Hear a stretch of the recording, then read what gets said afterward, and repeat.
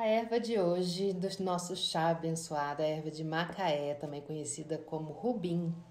Gente, é uma erva maravilhosa, super poderosa para o útero, para os pulmões, né? Então, por exemplo, quem tem várias, várias, várias doenças uterinas mesmo, né? Como a edonomiose, é, é quem sofre de trombose, é, para problemas do fígado, é, tosses, diarreia, é, em especial para crianças, tá? Crianças podem tomar. Às vezes a criança ela passa por muita diarreia, a erva de macaé é muito boa para isso. Ela é conhecida assim como uma, uma planta que cura várias e que trata várias, e várias doenças, né?